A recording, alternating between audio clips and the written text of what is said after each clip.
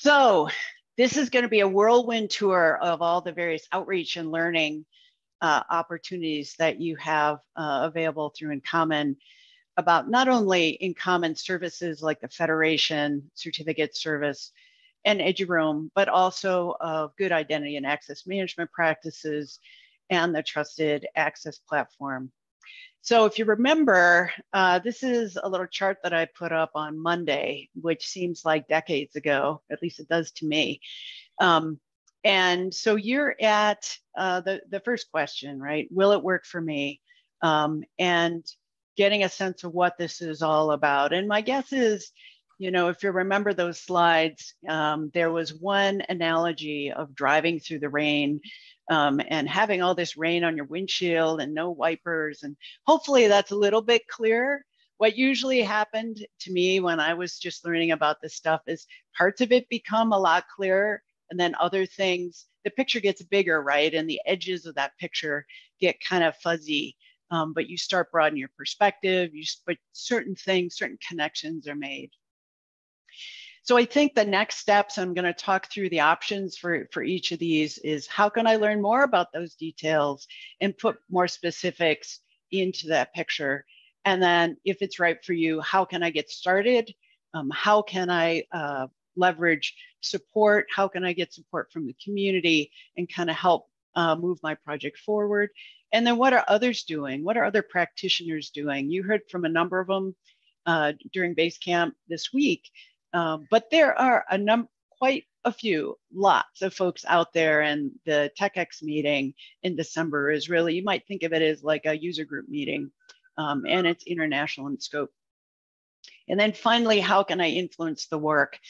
Not only is community driving uh, the adoption, but it's also driving, right, the changes and evolution of how all this stuff works together and how do we make um, the platform that is uh, Common Federation, software identity and access management work better for research and education. So um, Aaron did this lovely petals flower thing. I'm gonna go through each one quickly, Basecamp, starting with Basecamp. So I don't need to talk about this slide. You can probably actually speak to it much better than I can, and each of you with your own perspective.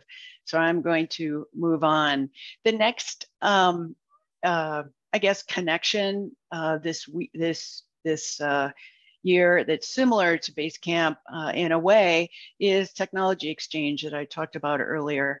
Um, it is going to be held in Denver, as I mentioned, uh, in December.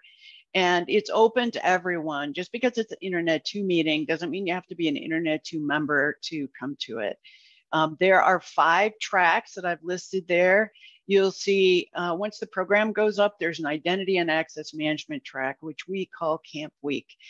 The idea of camp actually has been uh, with us for a long, long time. We started our first identity and access management camp in 2001. It's a long time ago. Um, and so we have kept that brand throughout the entire tenure of our outreach um, for the last 20 years, in part to provide um, continuity so folks kind of know what's going on, but so that you're um, also kind of have a, um, can be rest assured that it's driven by the community. So this is, it starts out, this, the camp week um, and the identity access management tracks start out with with the refeds meeting. So if you want to know all about refeds, there's actually one uh, starting before TechEx starts, and you can sign up for that. Um, the, and then we go into presentations, curated presentations uh, that our community program uh, chooses from a selection of call for proposals. Uh, and then the last two days are a really um, wonderful uh, discussion session called, um, well, it's advanced camp, but it's really a, uh, gosh, I'm trying to, I'm at a loss for words. It's an unconference and we build the agendas right on site. A lot of times those agendas are driven by the earlier presentations. How do we solve this particular problem? But sometimes there, I just want to know about X and gosh, Chris Hyzer's here. So Chris, can you join? Me in a room with, you know, maybe 10 or 12 other folks that are interested in the same thing and help us understand how to do X. So it's really runs the gamut between, you know, whatever you want to know that's, you know, from beginning to super advanced, like, you know, how do we uh, interop a little better with respect to federation metadata globally. So going on to the software training, uh, we uh, this is all on the website. We have software training for each of the trusted access components. Um, I will be showing a, a, schedule shortly that is for a fee, but we will also have no charge uh, virtual offerings coming uh, to uh, email box and Slack box. That a Slack box, Slack channel near you? And we'll let you know what you can sign up for. But we're we're rolling out uh, service related training in addition to the DevOps that I think was talked about earlier and identity and access 101. So if there are folks that you know that would like to kind of learn more about or hear Tom Jordan's presentation, for instance, they'll be able to, anyone will be able to sign up and, and get that, which will be super helpful. Here's the uh, schedule, like I mentioned before. Again, this is all out on the web. Um, I think our next session is excuse me, COmanage, excuse me, at the end of this month. And it goes all the way to December with our second Shibboleth uh, training for the summer fall. So, um, excuse me. If you can't wait until TechEx and you want to hear about what other folks are doing, we have a YouTube channel um, that has all of the IAM Online uh, for the last several years out there and they range from right the NIH requirements to hey, what's new in HECVAT 3.0 for identity? That has changed. If you haven't, if you're into HECVAT and you didn't know there's new identity requirements for that, go check it out. The the InCommon Technical Advisory Committee did an awesome job um, adding some advice. Uh, um, requirements for identity into the HECVAT. Um, there's also information about research and supporting research passwordless authentication, and so forth. It's a credible, rich array of, um, of topics. We will be hosting, uh, I believe, our next IAM Online in July, and you'll hear more about that. It's actually going to be um, passwordless auth again. So stay tuned for that one. If you're interested in influence and work, we would love, love, love to have you participate. Drive the bus with us. Um, we always do a call for uh, participation in the fall for our leadership and advisory committees. Nominate yourself, nominate someone else.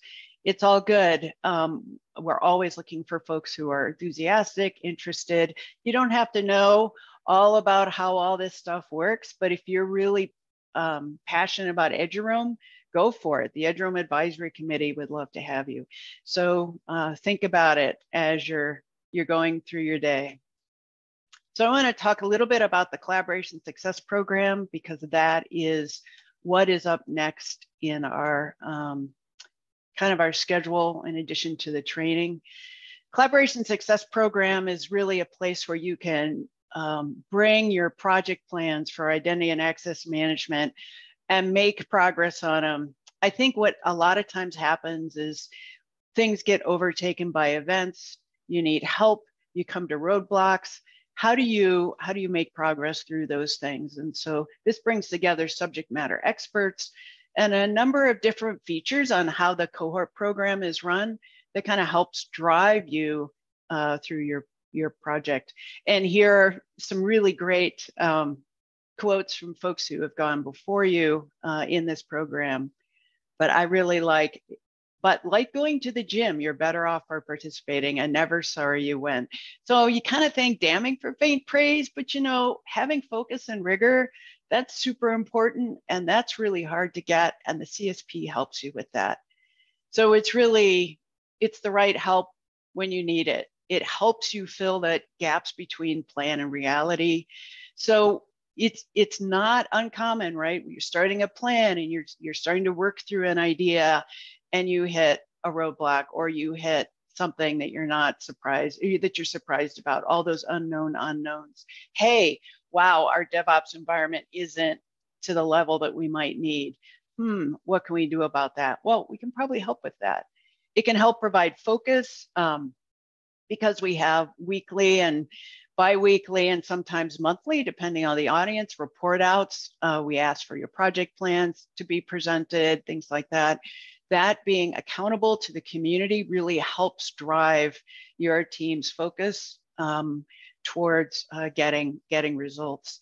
I think it's also super intensive applied learning. You can go through the training. Every uh, team gets eight seats uh, to slice and dice and, and however they'd like and attend whatever software uh, training makes sense for them. But then there's also side meetings on DevOps to cloud or on-prem, things like that, that, that are further in-depth training on actual implementation pieces. Um, I think it removes roadblocks, as I mentioned before. Right now, if you get stuck, you're alone. In CSP, you got peeps. There's a lot of lot of value to that. Building teams that gives them the understanding, confidence to move forward on their plans. Um, helps with professional development, um, and folks come back with broader uh, actual um, perspective um, lots of personal connections that they can draw in the future and help your team move forward in the future. So um, well, you'll meet new friends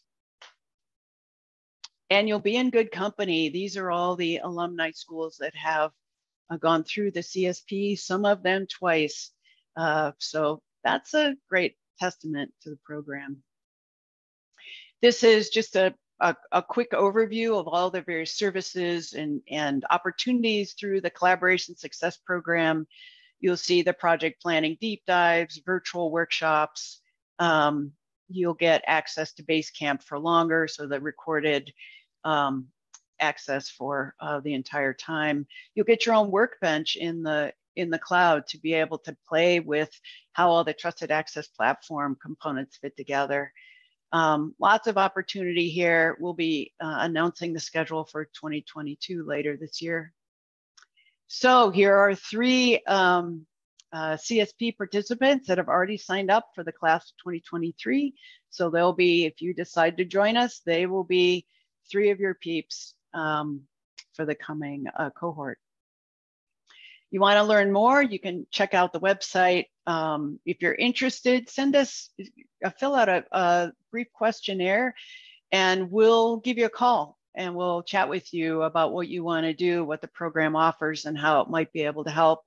And then you can think about it and decide. Um, and if you're interested, we'll send you a link and you can sign up. So with that, it's a lightning talk.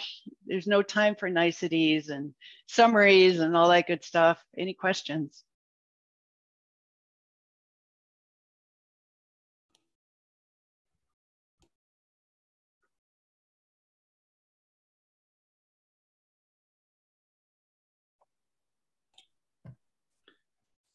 and I have my CSP shirt on. See my CSP shirt? You'll get t-shirt too, swag. It's worth it, the swag alone, right? Right. All right, back to you, Mike. All right. And they're the tri blend t-shirts too, so they're super soft. Yeah, really uh, all right. Thank you.